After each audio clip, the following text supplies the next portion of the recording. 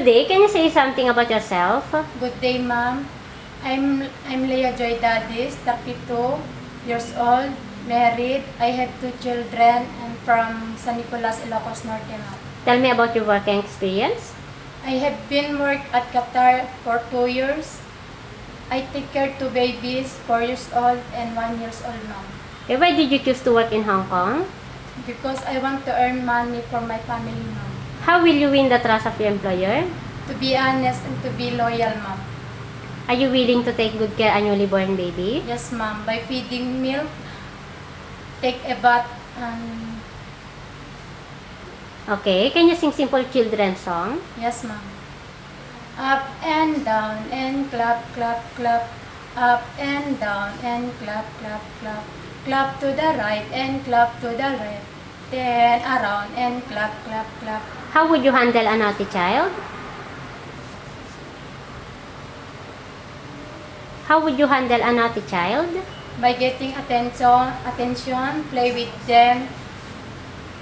Okay. Do you know how to take care an elderly or a bedridden person? Yes, ma'am. In what ways?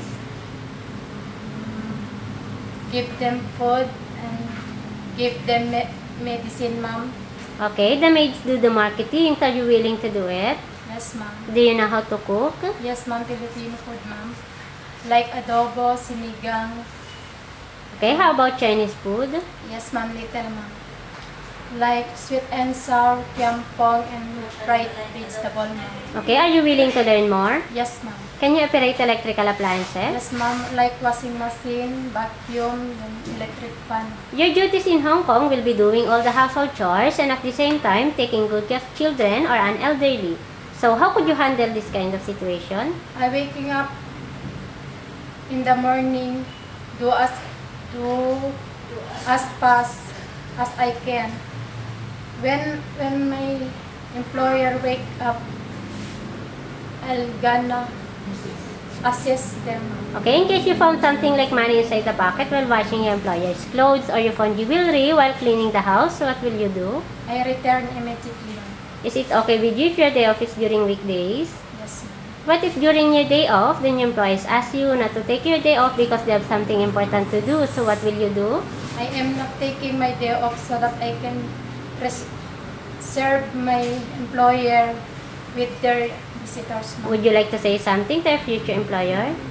Ma'am and sir, to my future, I promise, I promise to do my best as a domestic helper.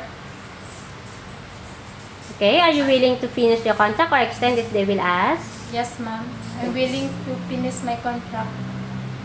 Thank you. Thank you.